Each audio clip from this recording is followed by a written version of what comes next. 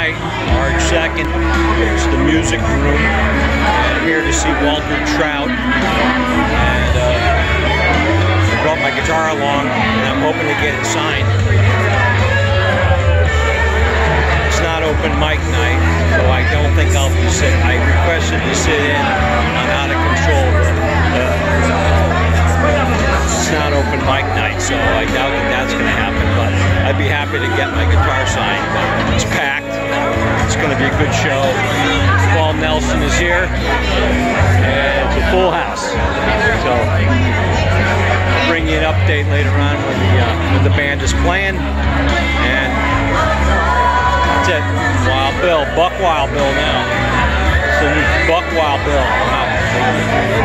Wow.